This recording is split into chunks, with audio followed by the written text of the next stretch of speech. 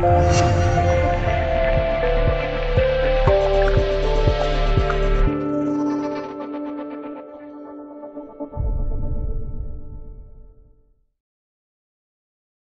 声在外的外国牌印度，可谓是个集百板销量于一身的开挂民族。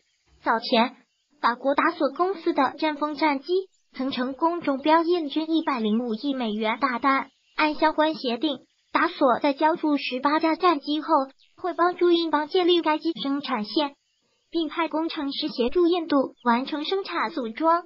军工实力平平的印度，却强制达索要对战机的质量负责。为达目的，甚至用取消合同来威胁。但拥有大量订单的达索根本不吃这套。在双方僵持的三年间，相比生活滋润的达索，印度的日子却并不怎么好过。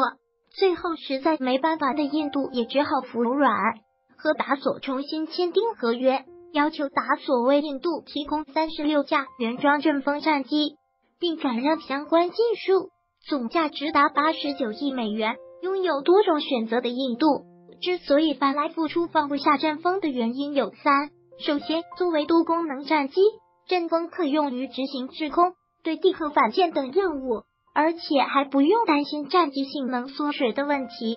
其次，达索拿出了阵风在近距离格斗模拟对抗中战胜 F 二二的视频，印度尤其心动，认为可以击败歼二十战机。